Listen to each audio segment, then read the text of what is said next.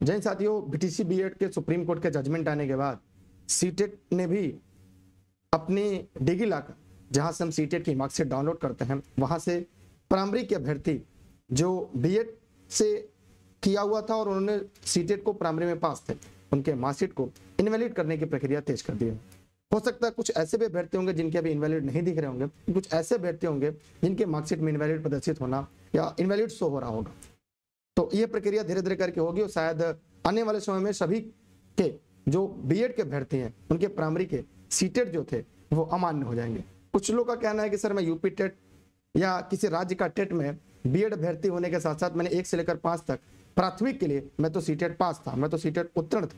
लेकिन अब क्या होगा? तो अब वही प्रक्रिया होगी कि आपको भी सीटेट की जो मार्कशीट है, जो सीटेट आप उत्तीर्ण है, वो सीटेट के अब इनवैलिड हो जाएगा। जैसे आप टेट पास हैं या यूपी टेट पास हैं या किसी राज्य का टेट पास है और प्राथमिक और बीएड अभ्यर्थी हैं तो आपके आगे चलकर इनवैलिड हो जाएँगे। अब ये बात बार बार सबके मन में आ, सबके जहन में आ रहा है कि क्या एक दिन में हो जाएगा, दो दिन में हो जाएगा या कल हो जाएगा, इस पर भी एक बड़ा सवाल आ रहा है। तो देखिए, क्रमवार रूप से होगा। अभी अलग अलग राज्य भी इस पर एक एक करके अपनी टिप्पणी भी करने वाले हैं। एक सवाल सबसे बड़ा आ रहा है कि बिहार शिक्षक भर्ती में जो आवेदन करने के लिए अभ्यर्थी थे उनका सीटेड इनवैलिड हो जाएगा तो बिहार शिक्षक भर्ती में परीक्षा किस आधार पर दे पाएँगे? या यूँ कहा जा सकता है कि वो बिहार शिक्षक भर्ती परीक्षा के लिए भी इनवैलिड रहेंगे।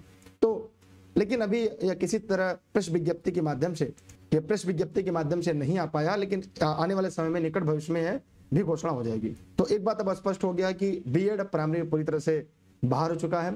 किसी प्रकार का कोई संशय नहीं रह गया है। अब एक उम्मीद लगाई जा रही है कि क्या अध्यादेश के माध्यम से तो उस अध्यादेश के साथ क्या बीएड फिर से वापस आ सकता है? तो देखिए, अभी तक माननीय सरकार या सरकार किसी प्रकार के बीएड को लेकर, अध्यादेश के लेकर कोई तैयारी नहीं है। तमाम तरह के लोग इस पर चर्चा पर चर्चा कर रहे हैं। अफवाहों का भी बाज़ार गर्म है। तो आप अपने सभी का प्रयोग करिए और बहुत सारे लोग ये नर्वस हो चुके हैं, टूट चुके हैं। तो देखिए, खुद को समेट कर रखें और इस तरह से अपना क्लासरूम तैयार करिए।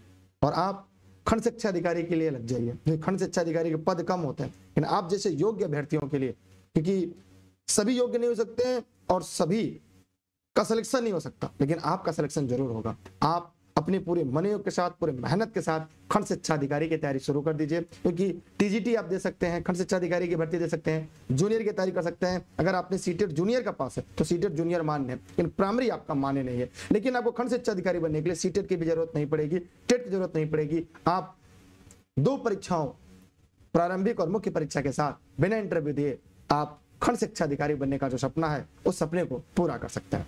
इस वीडियो को अपने मित्रों, अपने साथियों तक साझा करिएगा, अपने साथी मित्रों तक पहुंचाइएगा। लेकिन सबसे बड़ी बात यह है कि आप इस बात को लेकर अब धीरे धीरे खुद को संभालिए और ये मानिए कि अब आगे आपको क्या करना है। अब आपको नई शिक्षक भर्ती में टीजीटी पीजीटी नई शिक्षक भर्ती में एलटी ग्रेड नई शिक्षक भर्ती के साथ अगर हम बात करें तो अन्य राज्यों में जहाँ पे जूनियर भर्ती हो रही है, उसकी तैयारी में आपको बेहतर करना होगा, अपना बेस्ट देना होगा।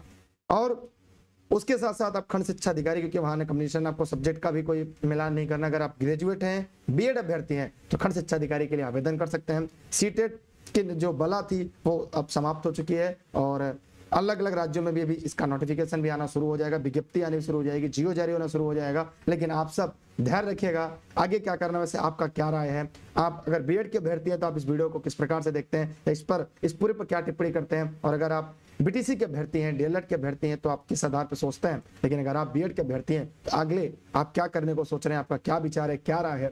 इस वीडियो के कमेंट सेक्शन में जाएगा और कमेंट करके जवाब ज़रूर दीजिएगा। मैं उम्मीद करता हूँ वीडियो को लाइक करने के साथ साथ चैनल को सब्सक्राइब करके बेलकन दबा कर रखेगा हम आपके लिए जितना हो सकेगा, उतनी मदद करने का प्रयास करेंगे। आप केवल ध्यान रखे रहें।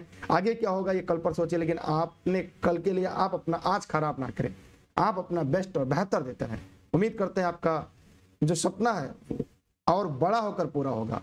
प्राथमिक का सपना आप अन्य में जाकर पूरा कर सकते हैं, लेकिन अब बेसिक प्राथमिक जो है, चाहे किसी भी राज्य का है, वो बीटीसी डीएलएड जेटीसी बीएसटीसी के नाम रहा है, और उससे हायर की अगर हम बात करें जूनियर की बात करें, माध्यमिक की बात करें तो यह बीएड के पाले में गिर गई है। अब बात यह है कि बीएड की भर्ती कम आती है प्राइमरी भर्ती ज़्यादा आती है तो भर्ती के साथ साथ एक बात और है कि आपको मेहनत अब ज़्यादा करनी पड़ेगी और अपनी मेहनत को और बड़ा करना होगा, और जान लगाकर पढ़ना होगा, लेकिन जाने नहीं देना होगा। आप लोग को मेरी शुभकामना है, अपनी तैयारी करते रहिएगा। अगर कोई सलाह, कोई सुझाव वीडियो में कमेंट करिएगा। अगर इसके अलावा अगर आपके मन में कोई प्रश्न हो तो आप इस वीडियो के कमेंट सेक्शन में कमेंट के माध्यम से हमसे पूछ और जान सकते हैं। मिलते हैं एक नए वीडियो सेशन के साथ, एक नया लेक्चर के साथ। तब तक के लिए आप सभी का आभार, आप सभी का धन्यवाद। और अगर आपको लगता है कि आपका कोई सुझाव तो वीडियो में कमेंट करिएगा, वीडियो को फेसबुक पे, जिला दुर्गेश पे देख रहे हैं। वीडियो को लाइक करिएगा और अपने सभी मित्रों को साझा करिएगा। और अगर यूट्यूब पे देख रहे हैं तो सब्सक्राइब करना ना भूलें।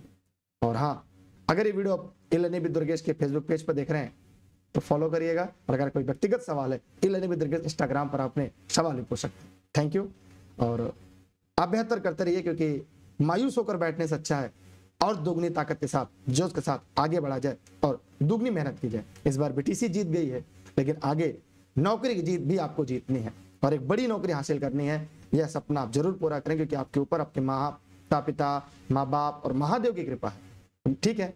मिलते हैं एक नए सेशन के साथ, तब तक के लिए जय हिंद, जय भारत।